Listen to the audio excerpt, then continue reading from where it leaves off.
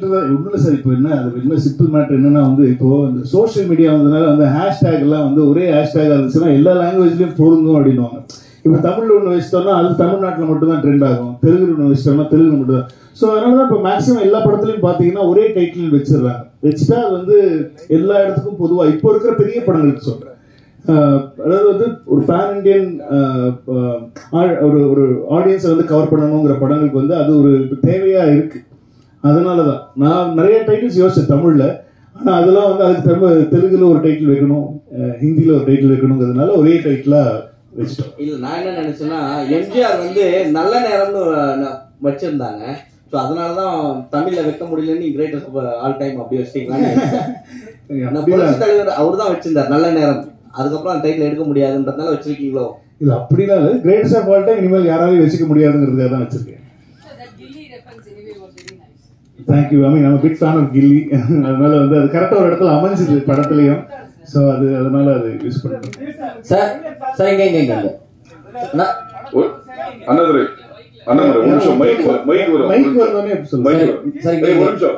Little tax ஒரு ஒன்னே நிமிஷம் வெயிட் பண்ணுங்க அருகே சார் எங்க சார் சார் விஜய் சார் பர்த்டேக்கு ஒரு கிளிம்ஸ் ஒன்று வந்துருந்துச்சு. அதுவாகட்டும் தேர்ட் சிங்கிள் ஆகட்டும் இப்போ வந்த இந்த ட்ரெய்லர் ஆகட்டும் இதில் இடம்பெற்றிருக்க அந்த டிஏஜிங் அந்த அப்படின்றது வந்து ஒவ்வொரு வாட்டியுமே அந்த மீம்ல வந்து ட்ரெண்ட் ஆகிட்டு இருந்தது.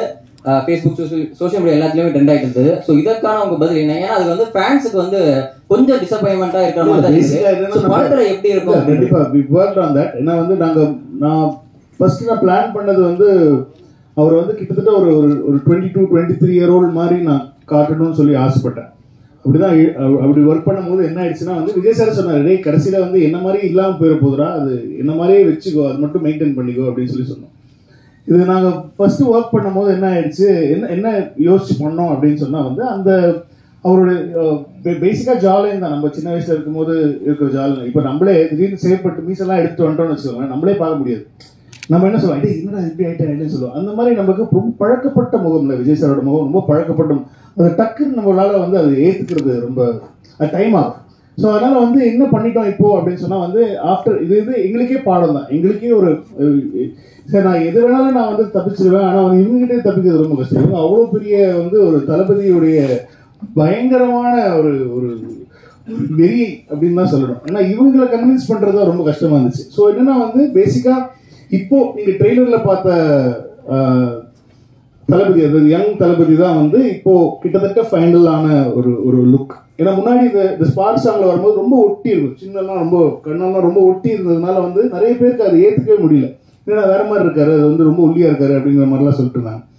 ஸோ அது வந்து எங்களுக்கு ஒரு ஒரு ஒரு பெரிய ஒரு ஒரு பெரிய பெல் அடிச்சுது. இல்லை நம்ம பெரிய எக்ஸ்பெரிமெண்ட்லாம் பண்ணக்கூடாது. அது இன்னும் கொஞ்சம் அது பண்ணிட்டாலே போறோம். அவரை கொஞ்சம் எந்த காட்டிட்டாலே போறோம். ரொம்ப பிசிக்கலா பெருசா சேஞ்சஸ் வேண்டாம் அப்படின்னு சொல்லிட்டு இப்போ டிசைட் பண்ணி அதனால தான் எங்களுக்கு ட்ரெய்லரும் கொஞ்சம் லேட் ஆச்சு.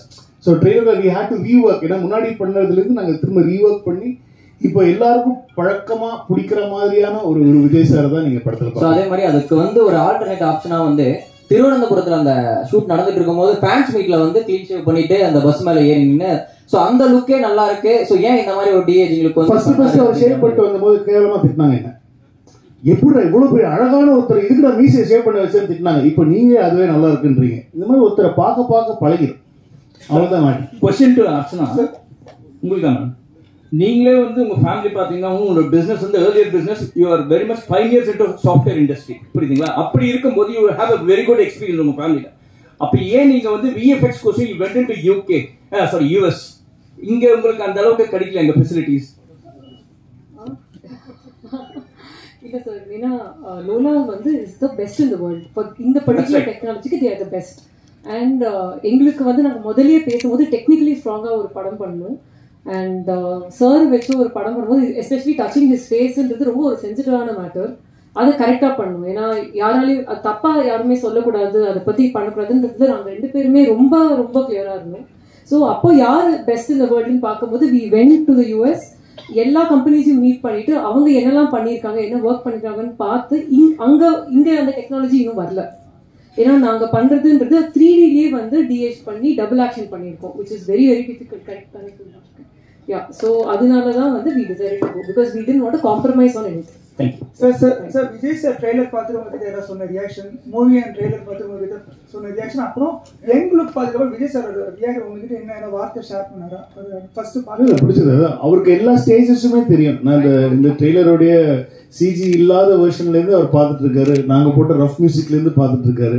ஸோ um, அவர் ஃபஸ்ட்டுக்கே எல்லாமே தெரியுங்கிறதுனால வந்து is very happy with the process தான்.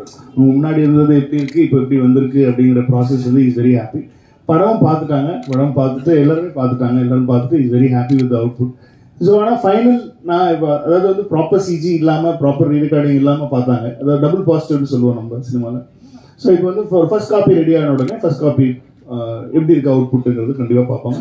அப்போ பார்த்துட்டோன்னே என்னன்னு சொன்னாருன்னு சொல்கிறேன் சார்.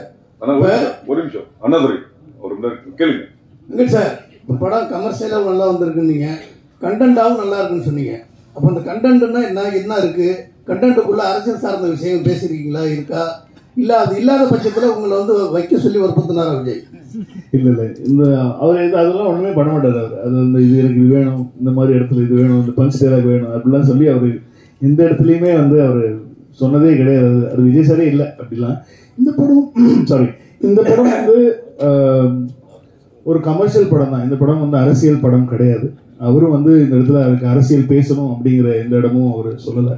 இப்போ அவர் இப்போ நீங்க வந்து படத்துல பார்க்கும்போது சில டைலாக்ஸ்லாம் பார்க்கும்போது இது வந்து நீங்க அரசியலுக்காக எழுதின டைலாகா அப்படிங்கிற மாதிரிலாம் யோசிக்கலாம். பட் ஆனால் அது வந்து படத்தோட வர டைலாக்ஸ் இப்போ நீங்க பார்க்குறதுனால அது உங்களுக்கு வந்து அது வேற வேற மாதிரி தோணலாம். பட் ஆனா விஜய் சார் என்னைக்குமே ஐ திங்க் யார்கிட்டயுமே அவர் சொன்னது இல்லைன்னு நினைக்கிறேன். அதுதான் Vijay sir sir Venkat sir Ajith sir salt pepper லுக்குக்கு மாத்தினது நீங்க தான்.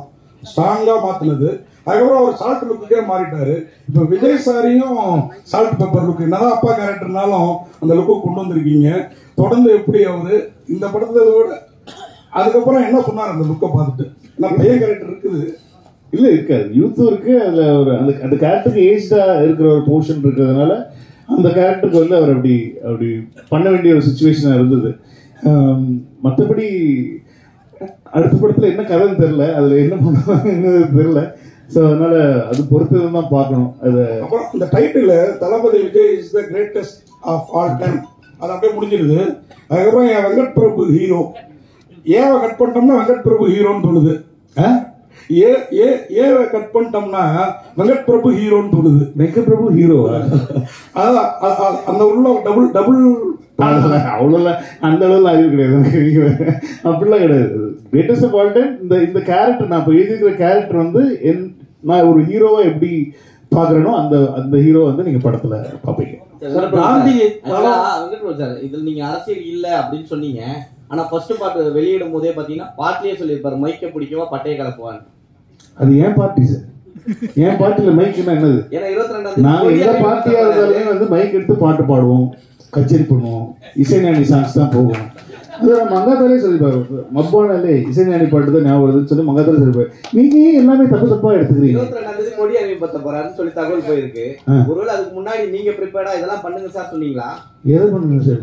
அரசியலுக்கான நான் அவருக்கு எனக்கு அரசியல் ஸ்பெல்லிங்கே தெரியாது. அது அவருக்கு நல்லா தெரியும். நீங்க வேற நான் அந்த பாட்டை திரும்ப கேளுங்க. இப்ப வெங்கட் பிரபு பார்ட்டியா கேட்க உங்களுக்கு. வெங்கட் சார் எப்பவுமே வந்து மோகன் சாரை வந்து நீங்க நிறைய கேள்வி. என்ன என்னன்னா மோகன் சாரை வந்து எப்பவுமே வந்து ஒரு ஹீரோவா பார்த்திருப்பாங்க. நீங்க எப்படி வில்லனா பாத்தீங்க அதே ஹீரோ விஜய் சார் கிட்ட நீங்க கதை சொல்லும் போது மோகன் சார் தான் வில்லன் சொல்லும் போது அவர் என்ன சொன்னார்? ரொம்ப ஹாப்பியா இருந்தாரு. ரொம்ப ஹாப்பியா இருந்தாரு. ஏன்னா ஒரு- ஒரு- ஒருத்தர் அவங்க பண்ண யூஸ்வல் கேரக்டர்ல இருந்து கொஞ்சம் வேற மாதிரி காட்டினா அது வந்து கொஞ்சம் ஆடியன்ஸுக்கு புதுசா